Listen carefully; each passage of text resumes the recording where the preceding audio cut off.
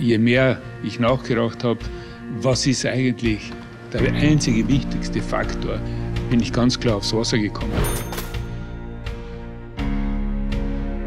Pure Life brand, one of the top brands Nestle has.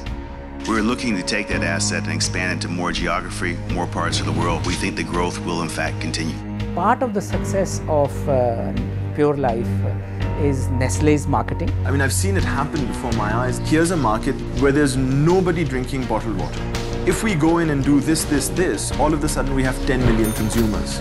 How's that? It's brilliant. They're after profit. They're predators, water hunters looking for the last pure water in the world. For one tanker load, Nestle pays $10. Once bottled, the same water costs $50,000. They've made tons of money. What's legal and what's ethical and moral are two different things. And at some point, this resource will run out. I will refuse to buy anything that's made by Nestle's. If I have to go hungry, I will.